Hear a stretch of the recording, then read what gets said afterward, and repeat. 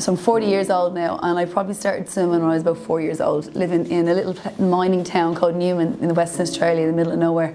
I saw a girl win a race, and I told my mum I wanted to swim.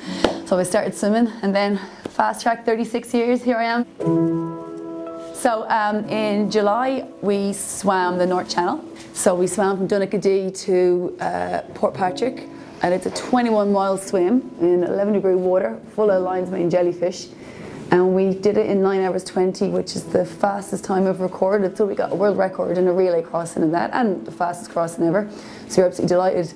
Um, all three of us have swam solo at the English Channel. I did mine in 2016 in 9 hours 40 and I broke the Irish record for that which was previously held by my husband for 9 hours 51 so um, yeah that was brilliant but also a little bit sad but he was absolutely delighted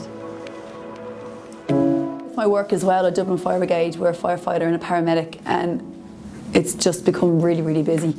And unfortunately, um, with what's happening in our city, there's a lot of people um, struggling, and with that brings a lot of crime and just a lot of sadness. And sometimes when you're dealing with um, things, whether it's a cardiac arrest, someone dead, someone murdered, it can be very, very stressful. And some people might turn to drink because they don't have this amenity, they mightn't have swim, they mightn't have friends. I'm really lucky, that's why I swim. I think that's 90% of the time while I swim.